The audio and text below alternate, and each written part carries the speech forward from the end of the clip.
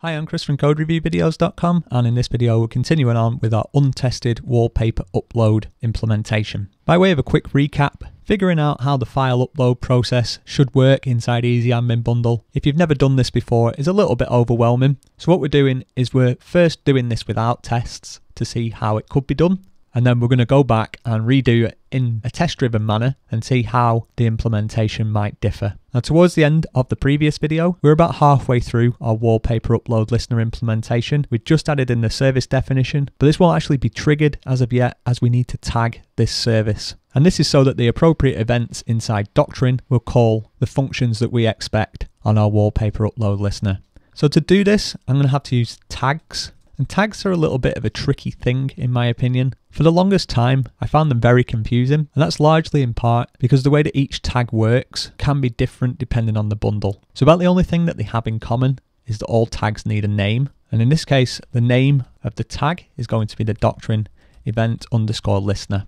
So, what that means is behind the scenes, when Doctrine is loaded as part of the wider bundle loading process of our Symfony project, all our services are going to be examined and the different tags will hook into different parts of the various bundles that we've got going on. In order for this particular tag to work properly, we need to set an event that we're interested in. Also, this will become the method name that needs to be called. And this is following Doctrine's naming practices. In our wallpaper upload listener, we've already decided that we're going to have this pre-persist function. And this ties in exactly with the name of the event that Doctrine will be dispatching. So we'll set pre-persist here also. Now you can change that, you could have it as a completely different name, but to maintain better readability and maintainability of your code, this is the suggested way of doing it. Just because we're tagging our wallpaper upload listener, if your brain works anything like mine, you'll instantly tie this to just wallpapers, and that's not the case. We are saying we want to be interested in literally any pre-persist event that Doctrine throws out. So whenever Doctrine dispatches this pre-persist event, we want to call pre-persist on our wallpaper upload listener. As part of that event, Doctrine will also send these lifecycle event args. That's where it's coming from. So this sort of happens behind the scenes. It's not something that we directly control. We are literally just hooking into it. But again, because we're hooking into this pre-persist event, that event is going to happen whether it's a wallpaper or a category or literally any other entity that we create in our project. And that's why we had to be defensive. Now, there is a different solution to this problem. We could use a Doctrine entity listener instead, and we'll approach it from that way when we come to write our tested version, just to explore concepts really. Okay, anyway, with our service tagged up, let's try and create ourselves a wallpaper. So I'm going to choose a file, I'm going to say space one, slug doesn't matter, width doesn't matter, height doesn't matter. Try and save those changes, and we're getting an integrity constraint violation. The column file name cannot be null. So if you think back to it, when we were creating our wallpapers, whether it was using the fixtures or the console command, and if you're unsure on any of them, please look in the show notes, then we were setting this file name manually. Unfortunately now, we don't actually include the file name field, and we don't really want to either, as we've said. We're quite happy taking whatever we've been given. So if it's going to moan at us about this, then we need to do something about it. We need to jump inside our wallpaper upload listener, and then under this, update the entity with additional info, spelled incorrectly. My, my apologies then we already know how to fix this because we've already got access to the information that we need to be able to fix it. So I'll just say entity, set the file name, and in this case, we'll say from the file, get the client original name. So does this fix it? Well, let's give it a shot. Well, that's a shame. We need to fix that. That's a bug. So if we look inside our web images directory, what it will have done is even though the upload process appeared to fail, the file itself still ended up on our disk. That's likely something we'd want to test for, so it's a pity we're not writing any tests. So we'll save changes, and this time things are looking pretty good.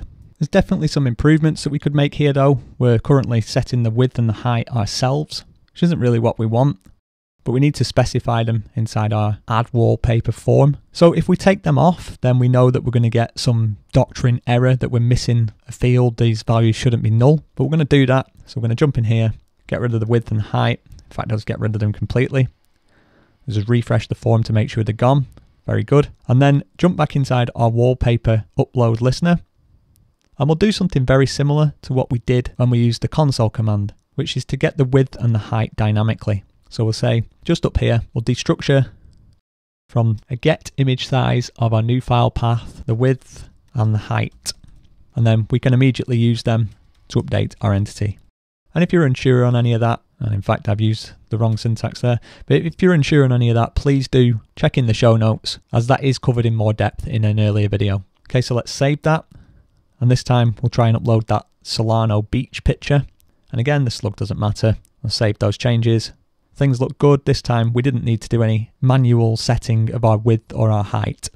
Now, if we jump across to the database, and let's give this a refresh, you can see one sort of major problem and one lesser problem. So we're not really setting the category ID at the moment, and that's the lesser problem. That's not a problem to sort out really.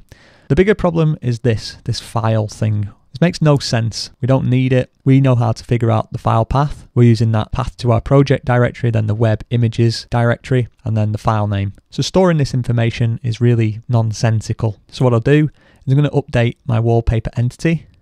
I'm just going to jump up to the top here and I'm going to take off the annotation for file. I might as well at this point close the others as well just to keep this a little bit tidier. And then because we've made a change to our schema, we're going to want to generate a migration and then we're also going to want to apply that migration.